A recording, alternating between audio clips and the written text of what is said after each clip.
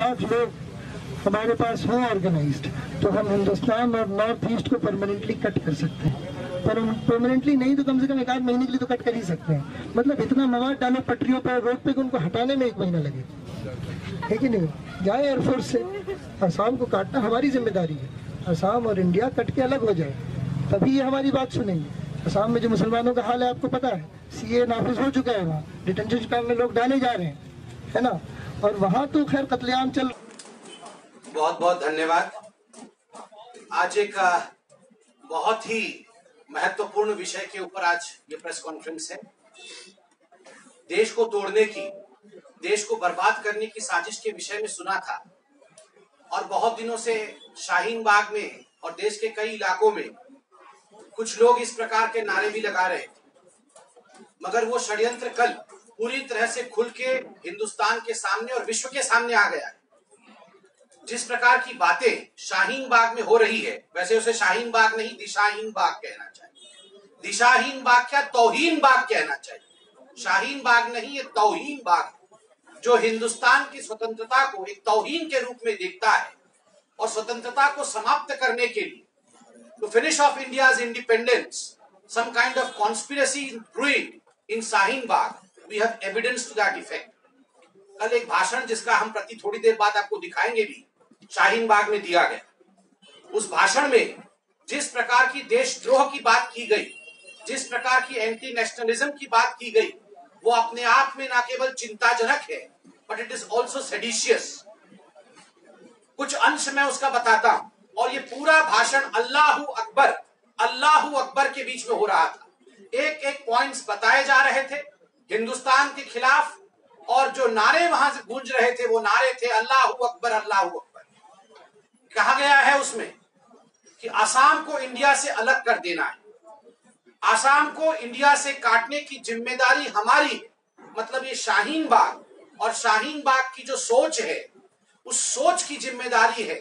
शाहीन बाग की ज़िम्मेदारी है कि किस प्रकार भारत को टुकड़े टुकड़े करके बांटना है और आसाम को और पूर्वोत्तर को, नॉर्थ ईस्ट को पूरी तरह से इंडिया से अलग कर देना है, काट देना है। आगे कहा गया है, चिकन नेक।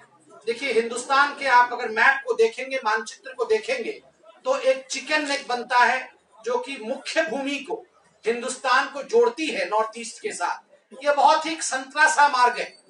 यहाँ कहा गया है, साजिश के अंतर्गत शाहीन बाग में ये जो चिकन नेक है, इसे हमें काट देना है। ताकि पूरा का पूरा पूर्वोत्तर भारत से कट जाए और आसाम भारत से अलग हो जाए। कैसे काटेंगे? उसके विषय में भी विवरण है कि ये जो चिकन नेक है, ये मुसलमान बाहुल्य क्षेत्र है। यहाँ मुसलमान आवाम रहता है और हम, हमने उनको संदेश भेजा है कि समय आने पर मुसलमान एक हो जाएगा और हिंदुस्तान के मेनलैंड से चिकन नेक को बंद करके पूर्वोत्तर को आसाम को अलग कर देगा। ये किस प्रकार की साजिश है? ये तो पूरी तरह से इंडिया को बर्बाद करने के लिए, भारत को तोड़ने के लिए षड्यंत्र कॉन्स्पिरसी रची गई है। दिस इज़ एन ओपन जिहाद ये ओपन जिहाद के लिए कॉल है और कुछ नहीं। बंधुगण, आगे यह भी कहा गया है कि इतना मवाद हम डाल देंगे पटरियों पर और सड़कों पर कि जो इंडिया की फौज है, जो इंडिया की आर्मी है, वो पूर्वोत्तर तक नहीं जा पाएगी। इंडिया की आर्मी आसाम तक नहीं पहुँच पाएगी। मेरा सवाल उठता है, आखिरकार इंडिया के आर्मी को आप पूर्वोत्तर तक पहुँचने से क्यों रोकना चाहते हैं? Why do you want to stop the Indian army from reaching Assam from reaching the other north eastern states what is the design that is brewing up? What is the conspiracy that you're building up? Within your mind, this is what india wants to know today. ये क्या षड्यंत्र आपके मस्तिष्क में चल रहा है कि आप सड़कों पर मवाद डाल देंगे, सड़कों पर आगजनी करेंगे, रेल की पटरियों पे आगजनी करेंगे, रेल को रोक देंगे ताकि इंडिया की आर्मी इंडिया के विभिन्न हिस्सों में पहुँच न पाए। और सबसे खौफनाक जो बातें कही गई है, जिसके कारण मैं इसे ओपन कॉल टू जिहाद कहता हूँ, इसमें कहा गया है कि सारे गैर मुसलमान, चाहे वो किसी भी और कम्युनिटी के हैं, सारे गैर मुसलमानों से कह दो कि अगर वो हमारा मतलब शाहीन बाग का समर्थन करना चाहते हैं तो मुसलमानों के शर्तों पे आकर ही समर्थन करना पड़ेगा। आप अगर मुसलमानों की शर्तों पर नहीं आएँगे तो आपका समर्थन समर्थन नहीं माना जाएगा। आप बताइए, ये किस प्रकार की बात है? ये किस प्रकार का जिहाद है? न हिंदू के लिए स्थान, न सिख के लिए स्थान, न बौद्धों के लिए स्थान, न जैनियों के लिए स्थान, न ईसाइयों के लिए स्थान, न पारसियों के लिए स्थान, किसी के लिए स्थान नहीं, केवल और केवल मुसलमानों के शर्तों पर। On the condition let down by the Islamist of the country केवल उसी के आधार पर यह सब कुछ चलेगा। यही जिहाद होता है। This is a classical call of जिहाद इसी को जिहाद कहते हैं। This is how you define जिहाद। याद करिए वो अरब स्प्रिंग, कैलिफेट बनाने की साजिश। किस प्रकार से कई देशों में 2000 की दशक में एक कैलिफेट बनाने की साजिश चली थी।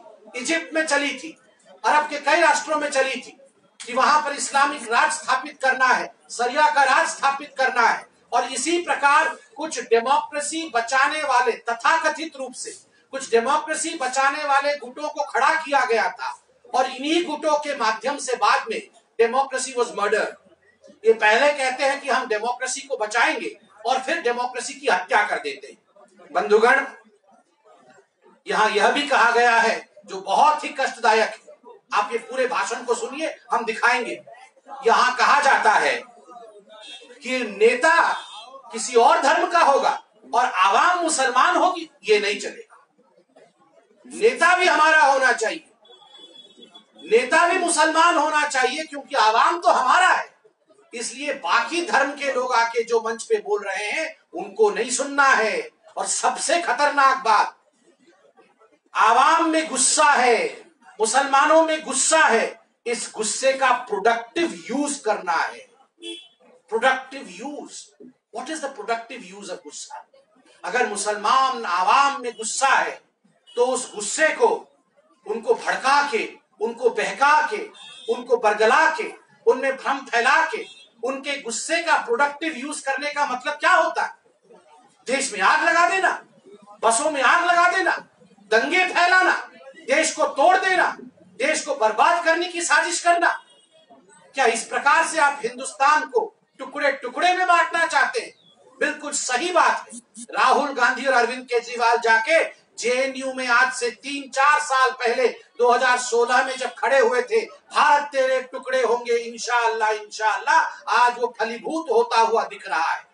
उस समय दोनों, राहुल गांधी और अरविंद केजरीवाल, दोनों जुड़ुआ भाई ने, जुड़ुआ कजिन ब्रदर्स दोनों ने जाके समर्थन दिया था। जेएनयू में भारत तेरे टुकड़े हो और आज ये दोनों कजिन ब्रदर्स के जो सपने थे, वो हकीकत में परिणत होते हुए दिल्ली के शाहीन बाग में आज हम देख रहे हैं। मैं सवाल पूछना चाहता हूँ अरविंद केजरीवाल जी से। अरविंद केजरीवाल जी, आपके मंत्री तो कह रहे थे उप मुख्यमंत्री तो कह रहे थे I stand with Shaheen Bagh आज मैं सवाल पूछता हूँ, आप प्रेस कॉन्फ्रेंस करके, मैं चैलेंज करता हूँ अरविंद केजरीवाल जी से और राहुल गांधी से। आप दोनों प्रेस कॉन्फ्रेंस करिए इस प्रेस कॉन्फ्रेंस के बाद। और जवाब दीजिए कि do you still stand with Shaheen Bagh will you condemn this ये भारत के टुकड़े की जो बात की जा रही है कि आसाम को भारत से अलग कर देना है। ये मुसलमानों को जो कॉल दिया गया है कि आग लगा देना है, आपके गुस्से को प्रोडक्टिविटी में बदलना है। क्या अरविंद केजरीवाल इस प्रकार के कॉल के साथ खड़ा है? मैं ये सवाल अरविंद केजरीवाल और राहुल गांधी से पूछना चाहता हूँ और चैलेंज भी देता हूँ। इस प्रेस कॉन्फ्रेंस के पंद्रह मिनट बाद आप प्रेस कॉन्फ्रेंस करिए। आप प्रेस कॉन्फ्रेंस करके जवाब दीजिए अरविंद केजरीवाल। दूसरा बहुत दुख के साथ आप सब मीडिया के बंधु बैठे हैं, मैं आपको नमन करता हूँ। आप चतुर्थ स्तंभ हैं। आपके बिना हम एक इंच आगे नहीं बढ़ सकते। आप ही सत्य को दिखाते हैं। ये जो आसाम का विषय आज जिसपे प्रेस कॉन्फ्रेंस भी कर रहे हैं, आप ही लोगों ने सुबह दिखाया और सत्य से जगाया है देश। मगर कल जिस प्रकार इस फेटर्निटी के साथ शाहीन बाग में डील किया गया, एक इतने बड़े पत्रकार, एक इतने नामी गिरामी व्यक्तित्व, Deepak Chaurasia news nation channel में है वो। जिस प्रकार से उनके साथ व्यवहार किया गया कल शाहीन बाग में, भारतीय जनता पार्टी एक राजनीतिक दल के रूप में, चतुर्थ स्तंभ पे जिस प्रकार का हमला शाहीन बाग में होता है और कुछ लोग उसको प्रश्रय भी दे रहे हैं, कुछ लोग उसे ठीक भी ठहरा रहे हैं, हम इसकी निंदा करते हैं और मैं तमाम कैमरों में देख के कहता हूँ, प्रत्येक मीडिया के बंधु को इसके साथ खड़ा होना चाहिए। इसके विरोध आवाज़ उठानी चाहिए। कल ये आज इस चैनल के व्यक्ति को मार रहे हैं, कल आपको मार सकते हैं। अगर आप इकट्ठे नहीं होंगे, आप आवाज़ नहीं उठाएँगे, तब तक सत्य प्रतिपादित नहीं होगा। आप कहते हैं कि आप लोकतंत्र को बचाने की मुहिम चला रहे हैं। आप कहते हैं कि आप संविधान को बचाने की मुहिम चला रहे हैं। और जब दीपक चौरासिया वहाँ जाते हैं तो उनकी लिंचिंग करने की कोशिश होती है। उनको जान से मारने की कोशिश की जाती कैमरा तोड़ दिया जाता है। यह है लोकतंत्र को बचाने की कोशिश। अंत में शाहीन बाग पे एक कविता है। उस कविता के साथ मैं अपने विषय को समाप्त करूँगा। पूरा निचोड़। किस प्रकार के देशद्रोहियों से ये शाहीन बाग भरा हुआ है? आज मैं छुपाने वाला मैं पॉलिटिकली करेक्ट नहीं होना चाहता हूँ। देशद्रोही नहीं कहे तो क्या कहे?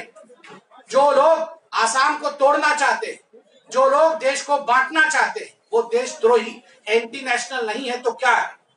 एक कविता है, शाहीन बाग एक सोच। क्योंकि जैसे लुटियंस दिल्ली केवल एक ज्योग्राफिकल लोकेशन नहीं है, जैसे खान मार्केट गैंग एक ज्योग्राफिकल लोकेशन नहीं है, एक सोच है। ठीक उसी प्रकार आज शाहीन बाग भी एक विशैला सोच बन चुका है। मैं शाहीन बाग हूँ। जी हाँ, मैं शाहीन बाग हूँ। हाथ तिरंगा मन में दंगा, हाथ तिरंगा मन में दंगा, अमन चैन को डसने वाला मैं जहरीला नाग हूँ। हाँ मैं शाहीन बाग हूँ। महिलाओं की आड़ में नफरत की बाढ़ में, महिलाओं की आड़ में नफरत की बाढ़ में, हर शहर में लाल चौक हूँ।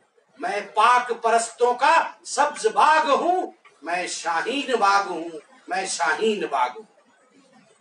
कश्मीर शांत है, कश्मीर शांत है, दिल्ली अशांत।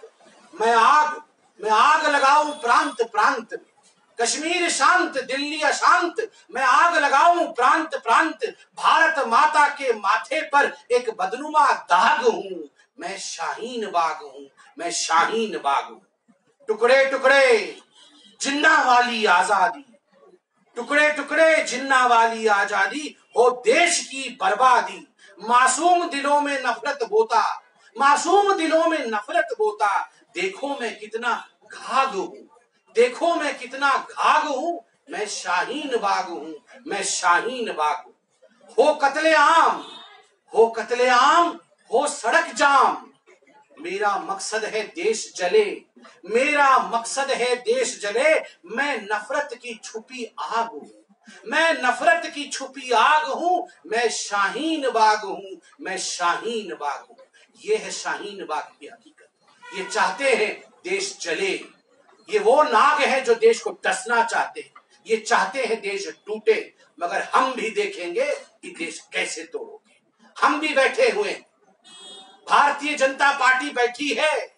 वह भी देखेगी। कितना भी साजिश आप लोग कर लो, आसाम को, पूर्वोत्तर को हम भारतवर्ष से अलग नहीं होने देंगे। कितना मवाद डालोगे पटरियों पर, कितना मवाद फैलाओगे सड़कों पर, हम भी देखेंगे। मवाद फैलने नहीं देंगे। कितना कहोगे, मुसलमान चिकन नेक को तोड़ देगा। हम हिंदू मुसलमान होने नहीं देंगे, हम सबका साथ, सबके विश्वास के साथ चलेंगे। तुम देश तोड़ो, हम देश जोड़ेंगे। बहुत बहुत धन्यवाद, बहुत आभार।